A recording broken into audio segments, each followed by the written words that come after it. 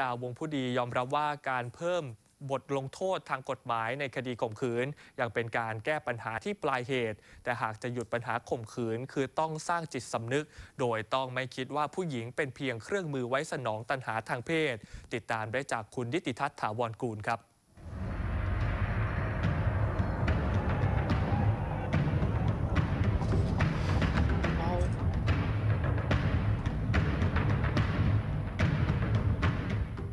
ยกเว้นในข้ออ้างว่าดูแล้วเยาวชนอายุเกินอายุ 13 เป็นข้อลดหย่อน อันนั้น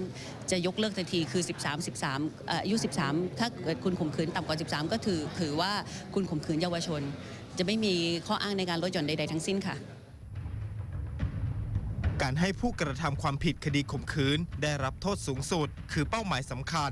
ที่นางสาวปนัดดาวงผู้ดี ประธานองค์กรทำดี ตัดสินใจที่จะเป็นตัวแทนของผู้หญิงในสังคมไทย พื่อผลักดันให้มีการบังคับใช้กฎหมาย เพื่อลงโทษกับผู้ต้องหาในคดีข่มขืนอย่างถึงที่สุด และไม่มีการลดหย่อนโทษให้กับผู้ต้องหาในคดีข่มขืน ซึ่งเธอยืนยันว่าการคงความศักดิ์สิทธิ์ของกฎหมาย และให้ผู้กระทำผิด เกรงกลัวต่อบทลงโทษ จะเป็นหนทางหนึ่ง ที่ทำให้เหตุอาชญากรรมกับสุภาพสตรี โดยเฉพาะคดีข่มขืนลดลงซึ่งเท่ากับเป็นการทำให้สุภาพสตรีอยู่ได้อย่างปลอดภัยมากขึ้นในสังคม ผมจะอยู่ในสังคม แล้วก็มีชีวิตได้ต่ออีกนานแค่ไหน แต่อย่างน้อยใน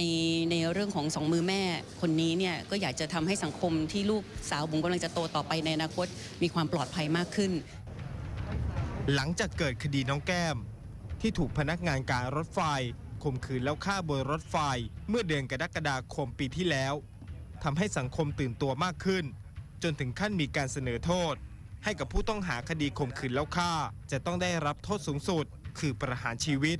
โดยวัดได้จากจำนวนคนที่ลงชื่อสนับสนุนบทลงโทษนี้ ซึ่งมีมากกว่า 130,000 คน ในระยะเวลาเพียง 8 เดือน แต่สิ่งที่น่าเป็นห่วงมากที่สุดคือ ในคดีข่มขืน มีผู้หญิงที่จะกล้าแจ้งความดำเนินคดีกับคนร้าย เพียงร้อยละ20เท่านั้น เนื่องจากผู้เสียหายยังคงรู้สึกอับอาย ทุกวันนี้เนี่ยทุกกรณีเคสที่แจ้งความมีแค่ 20%ของผู้หญิงที่โดนจริง แต่เราคงคงต้องแก้ที่ระบบของการสืบสวนสอบสวนด้วย ว่าผู้หญิงมีความปลอดภัยในเรื่องของข้อมูลมากน้อยแค่ไหน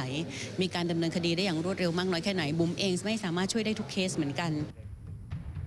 นางสาวปนัดดายืนยันว่า การเพิ่มโทษในคดีข่มขืน คงเป็นเพียงการแก้ปัญหาที่ปลายเหตุเท่านั้น แต่สิ่งที่สำคัญที่สุด